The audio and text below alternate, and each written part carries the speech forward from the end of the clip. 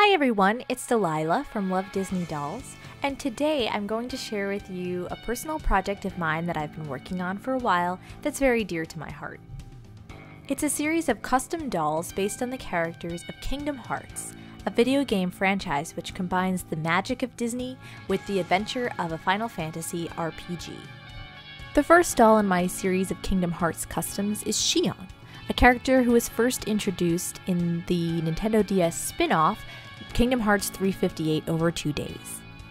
The base doll for Xion was a book party Lizzie Hearts doll from Ever After High. I chose Lizzie because she has the shorter body, and I wanted Kairi, Naminé, and Xion to all have the shorter body, while I would make an Aqua doll that had a taller body, which um, I used Duchess Swan for her.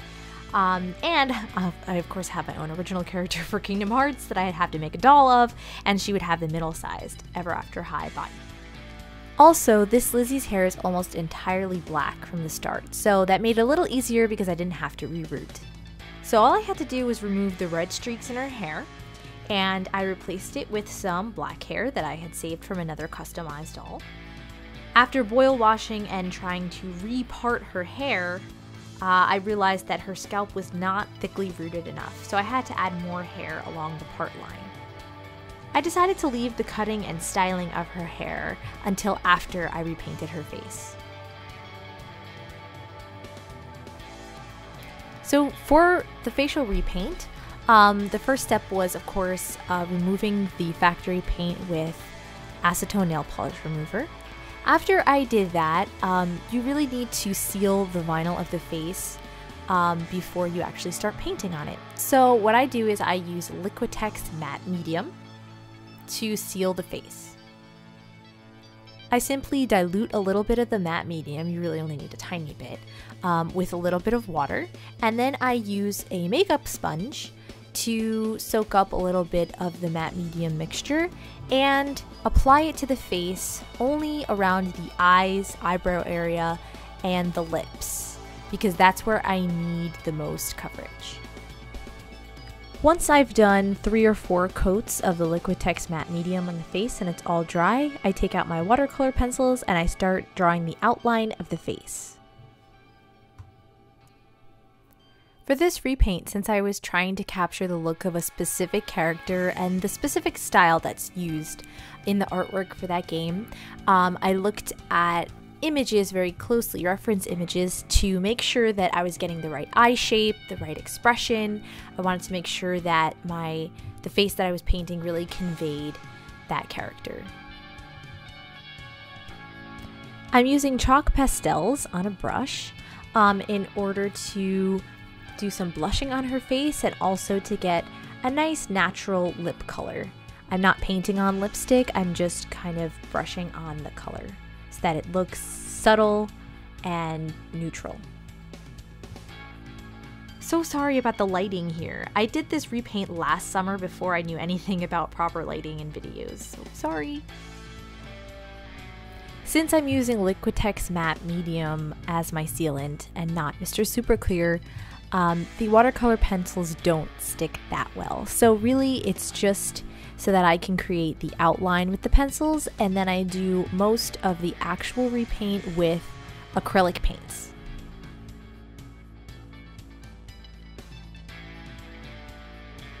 Once I'm satisfied with the outline of the face, I'm going to take my acrylic paints and my teeny tiny brush and I start by filling in the whites of the eyes really sorry that uh, it's kind of off camera in this part. In addition to not knowing much about lighting, I also was not very good at doing this on camera, so I am sorry about that.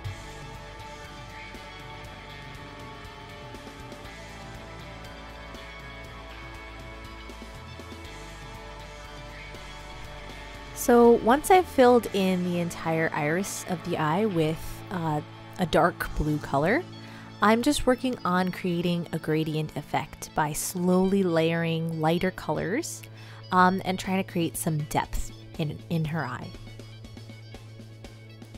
I'm thinking with this lighting situation, you probably won't be able to see this, but um, as I was working on building up that gradient, I really tried to put in some different shades in there, like purples along with the blue.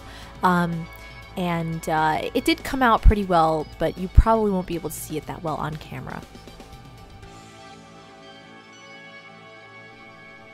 The whole time I was painting this, I was listening to Kingdom Hearts music.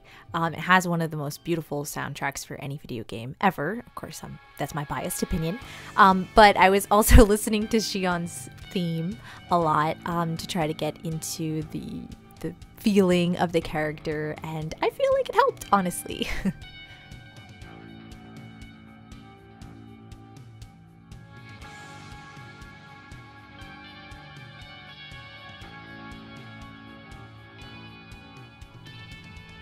So again, unfortunately, my hand keeps blocking the camera, and that's because um, this part especially is really precise. Um, what I'm doing is I'm taking my black acrylic paint now and going over the outlines that I did for the um, the eyelash line and all of that stuff, the outline of the eye, and it's really hard to get that exactly right.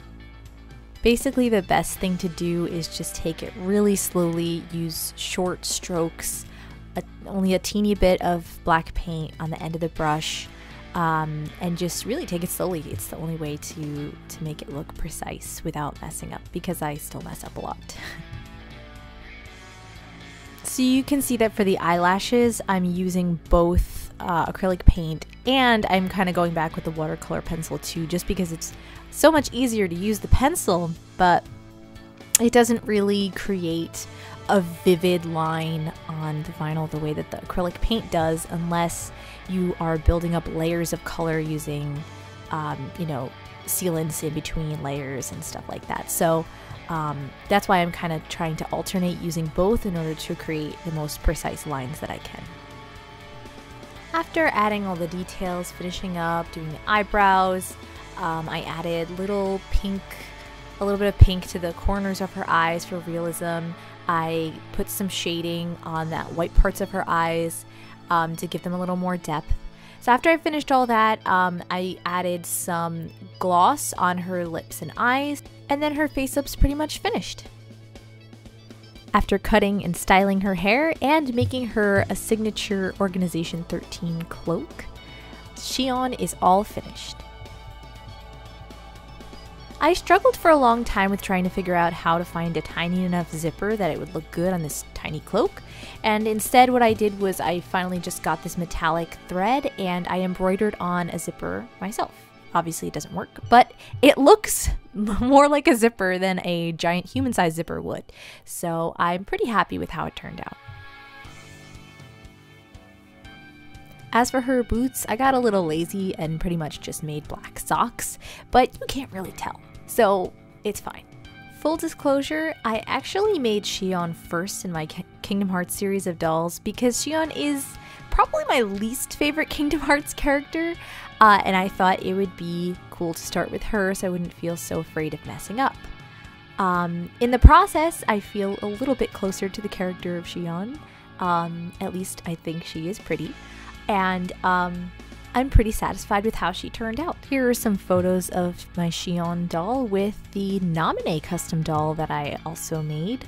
Unfortunately, I didn't film any of her process, so there won't be a whole video on her. Sorry.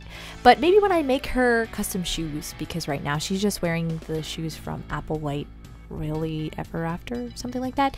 Um, so, yeah.